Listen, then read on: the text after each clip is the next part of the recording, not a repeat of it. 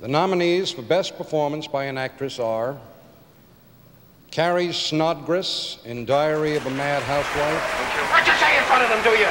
Making my own daughters laugh at me. As usual, you've got everything twisted. You let them see that you find me ridiculous. You encourage them to find me ridiculous. What have I got twisted? Uh, why do you have to react to everything? What have I got twisted?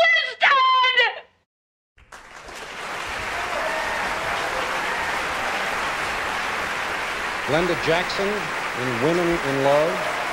Wouldn't I rather be the fool and explore those sewers with a rat? And what have you to offer as an alternative? An eternity of domesticity at Shortlands? My God, when I think of you and your world and your wretched coal mine, it makes my heart sick. You're so limited. You're a dead end. You cannot love. And you? I could never love you.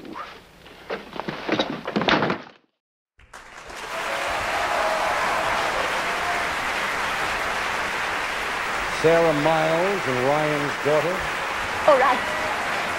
Because I am stupid and conceited and self-centered and ungrateful like you've always told me. For I have everything I wanted, have I not? You have.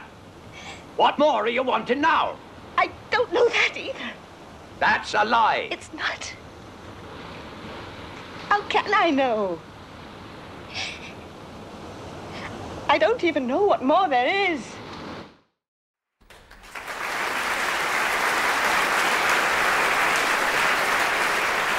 Ali MacGraw in Love Story. Reminds me all the Martin Kershaw stuff. You bet it was. What what number is the A major concerto? I don't know. I'll look it up. No, but I used to know all those things. I really did. I used to know all those things. You want to talk music?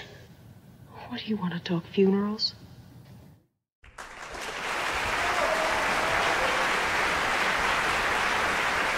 Jane Alexander in The Great White Hope. Start. I told you when my mama died, I said to leave me people. I can't run anymore, No, not by myself. You got your own people. No, you're a young woman. I'll never make You're gonna find no one else. tough titty. Just wait. Boom, goddammit! Why can't you wait at least and give me one chance to make you happy? Only one. I swear I've never had one.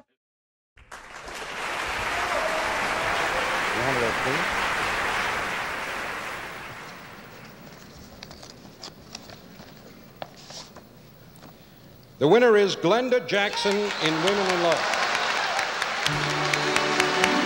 Accepting the award for Glenda Jackson will be Juliet Mills.